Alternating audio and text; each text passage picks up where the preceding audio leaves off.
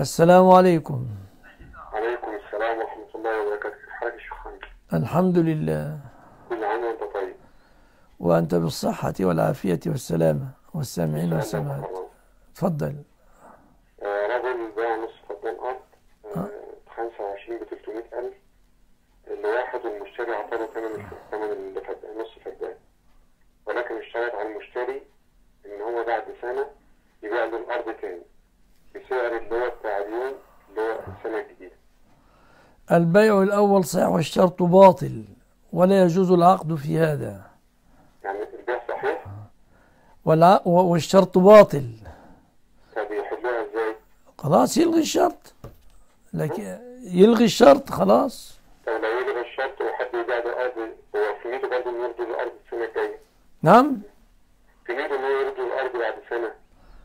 أنا نقول لك هذا البيع بهذا الشرط باطل.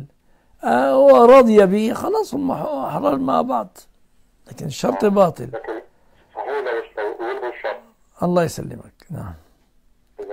يعني.